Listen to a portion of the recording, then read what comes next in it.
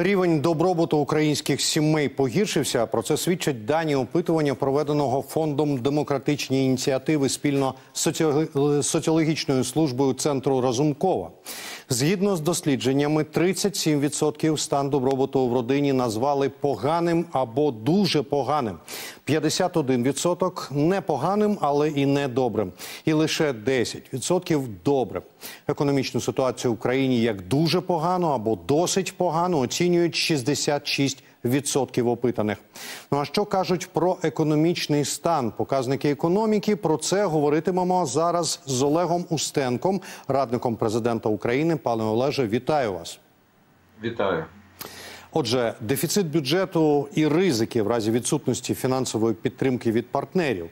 Напередодні в кабіні зазначили, що доведеться затримувати соціальні виплати зарплати бюджетникам, якщо гроші не надійдуть на початку нового року. А згодом перша віце-прем'єр-міністрка і очільниця Мінекономіки Юлія Свериденко вона уточнила, що йдеться про довгострокову перспективу. То яка ситуація станом на тепер? Чи варто українцям готуватися до відсутності зарплати пенсій? Ну треба виходити з того, що наш е, бюджет е, сформований з двох великих програм. Умовно, це перша програма, це все, що йде на нашу безпеку і оборону. і Це приблизно біля е, 40 мільярдів доларів. Ну і така сама сума, приблизно знов таки біля 40 мільярдів доларів. Це все, що йде на небезпекові і не на оборонні е, програми.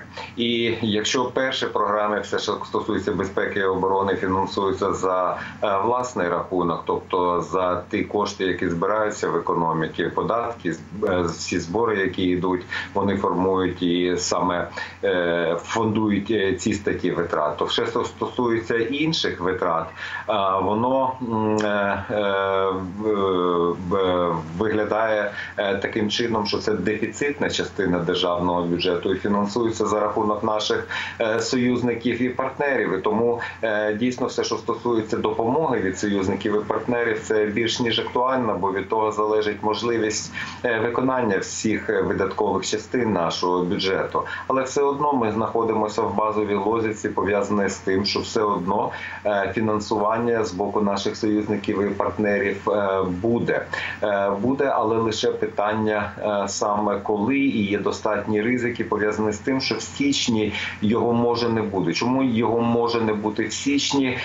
Бо 1 лютого розглядає питання питання пов'язане з нашим фінансуванням 1 е, лютого. Європейський союз через декілька тижнів, вже після нового року, знов повертається до питання розгляду макрофінансової підтримки е, України, Сполучені Штати Америки. І Тут теж нема жодних сумнівів, е, що буде фінансування. Але коли мова йде про фінансування, то треба пам'ятати, що фінансування дуже важливо не лише суми, які надходять в країну, а на всяк випадок я нагадаю, що приблизно по потреба наша в додатковому фінансуванні державного бюджету місячна, десь приблизно 3,5 мільярда доларів.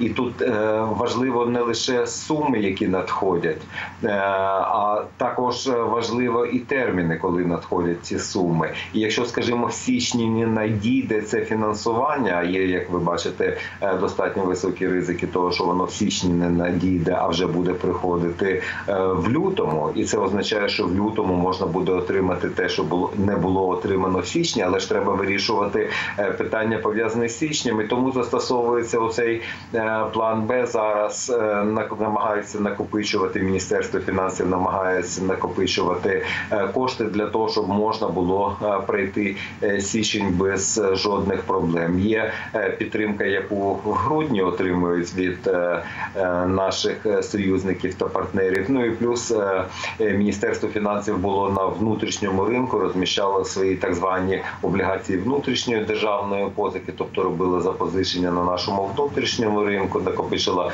20 мільярдів гривень. Вже я е, думаю, що вони е, повторять це і е, може навіть не один раз, а два рази е, протягом січня, тобто будуть намагатися додатково е, знайти кошти внутрішнього такого походження, і вже потім, коли буде надходити фінансування з боку союзників і партнерів, то тут і воно періодичне. Що головне, що воно не тільки стосовно сум виважене, але воно і періодичне. І з цієї точки зору мені здається, що ризики будуть мінімальні. Але коли віце-прем'єр говорить з приводу більш такого довготривалих ризиків, то да дійсно вони існують, як існують в будь-якій країні, коли мова йде про довготривалі процеси.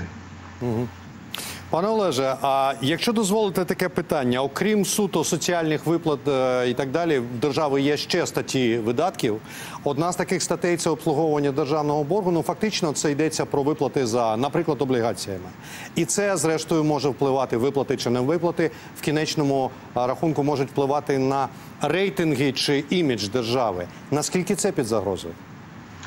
Е, не думаю, що тут е, є в принципі такі е, великі загрози, і ось чому що стосується нашого боргу, то ви знаєте, що загальна загальний обсяг нашого державного і гарантованого державою боргу знаходиться на рівні приблизно 140 мільярдів доларів, якщо перевести в доларовий еквівалент. Все, що стосується нашого внутрішнього боргу, тобто облігацій внутрішнього державного позику, міністерство фінансів їх і продає, і воно їх постійно викуповує. Навіть от це останнє розміщення, яке було там були цінні папери, облігації, які продавалися на 6, на 7 місяців. Тобто, ну такі е, достатньо короткотермінові. Їх постійно викупають і постійно знову випускають. Тобто тут іде повністю обслуговування, і відсотки по них сплачуються повністю в повному обсязі. Що стосується інших наших боргів, е, то е, якщо ви пам'ятаєте, в 2022 році було таке перша зустріч зустріч з нашими е, кредиторами стосовно того, е, яким чином е, ми можемо відстрочити обслуговування наших зовнішніх боргів. Ну і вже в грудні цього вже року відбулося знов таки засідання з Паризьким клубом, де знов таки говорилося з приводу того, що борги і обслуговування нашого зовнішнього боргу воно стоїть на паузі, і стоїть воно на паузі до 27 року. Тобто е, в даному випадку я б тут би взагалі не переймався стосовно того, що ми е, зараз не виплачуємо наші борги. Е, бо це ну об'єктивний процес. Вони стоять на паузі. І На всяк випадок нагадаю, що всі ці нові борги, які робляться, це нові борги. Вони по дуже дуже низький відсоток. І в більшості випадків там мова йде про 1-2 відсотки. Це відсоткова ставка, за якою йде обслуговування. А дозвольте мені цитату. А ми виснажили свій е, наш внутрішній потенціал на фінансуванні військових потреб. Так напередодні окреслив стан справ з грошима в Україні. Міністр фінансів Сергій Марченко він коментував потреби військових у мобілізації півмільйона осіб. А про які суми для мобілізації йдеться? Взагалі, які шляхи вирішення проблеми фінансування тут е, ну якби можуть бути? Ну все, що стосується внутрішнього ринку, то дійсно тут ресурс е, достатньо обмежений, і навіть оці останні розміщення, які рекордно великі, е, були зроблені, про які ми вже з вами сказали в грудні на 20 мільярдів гривень. Е, все одно уявіть собі, що 20 мільярдів гривень це трохи більше ніж е, півмільярда доларів. А потреба місячна, наприклад, в січні, от в додатковому фінансуванні або середня е, на рік по місяцю, десь приблизно 3,5 мільярда доларів. Думати, що це повністю можна профінансувати за рахунок внутрішнього ринку, е, це просто буде ну неправильно, е, бо ринок дійсно виснажений, і там е, міністерство фінансів намагається просто брати в борг стільки, скільки цей ринок може дати, і ти ж не можеш залишити на голодному пайку взагалі і український банковський сектор, і взагалі фінансовий сектор України. Тобто тут є певні ліміти. Е, все, що заробляється в країні в вигляді наших власних податків і зборів, воно вже йде на е, безпеку і оборону. Думати, що можна додатково знайти е, кошти на цей сектор. Е, було б можливо лише за умови, якби, скажімо, економіка показувала е, більш е, такий високий темп економічного зростання, скажімо, на 4,5 або навіть 5%, які очікуються в цьому році. Ну щонайменше півтора рази більше, бо коли ти економічно зростаєш більш швидкими темпами, в тебе з'являється таке фіскальний простір, тобто ти можеш збирати більше коштів. В даному випадку міністр фінансів достатньо чітко сказав, е, що додаткові цифри, про які е, вони на які вони орієнтуються в даному випадку, е, це е, перевищують е, 10 мільярдів е, доларів. І це дуже значна величина. 10 мільярдів доларів е, це ну плюс е, більше ніж 20% до вже тих витрат, які існують, або є якийсь інший план, як було зазначено е, міністром фінансів.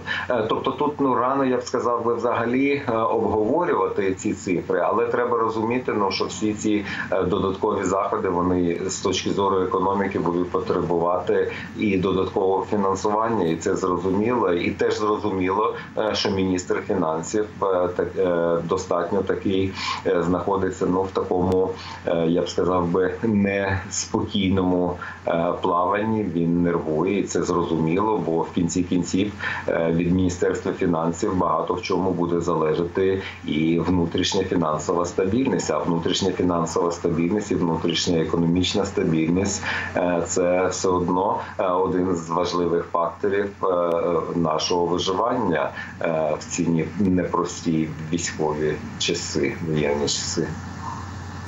Олеже, я візьму буквально кілька секунд. Е, Справа в тім, що зараз, поки ми з вами розмовляємо, а, на е, півдні і на сході України оголошено повітряну тривогу. За повідомленням повітряних сил, це е, причина це безпілотники е, російські.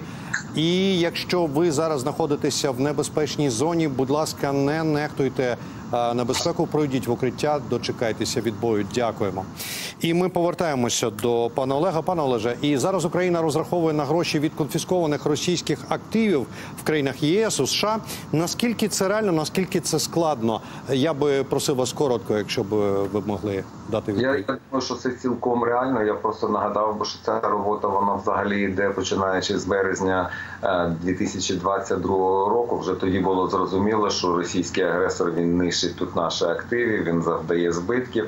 Зараз вартість збитків оцінюється приблизно на рівні 750 мільярдів доларів. Якщо говорити про прямі збитки, якщо додати туди ще й непрямі збитки, то це біля 1 трильйона доларів, 300-350 мільярдів доларів. Це кошти Центробанку Російської Федерації, які зараз заморожені. І дійсно вирішується питання, яким навіть не вирішується питання, вирішується алгоритм, яким чином ці кошти будуть передані е, на потреби Україні. І є ще з приблизно 100-150 мільярдів доларів їхньої е, номенклатури або псевдоеліти, які е, теж або знаходяться зараз в замороженому е, стані, або знаходяться так званому трекінгу, і там теж іде е, обговорення алгоритму, яким чином це треба передати на потреби Україні. Я вважаю, що з високою долею вирогідності ці кошти е, будуть для України в найближчі часи. Там можливі два варіанти. Перший дуже швидкий е, варіант це передача тих прибутків, які були зароблені на ці кошти. Там мова йде